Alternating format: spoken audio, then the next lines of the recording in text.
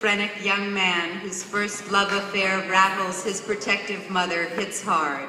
It's a story of disquieting contradictions about characters who struggle to do the right thing in a world where there are no easy answers and a person's attempt to help might just as well hurt.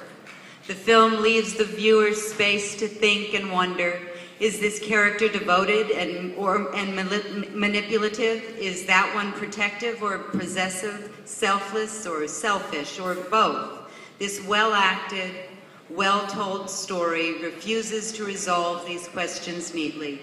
Instead, it boldly digs into the thorniness of real experience. For that reason and others, we're happy to present the Grand Jury Prize for Feature Narrative to fucking Patrick's Day.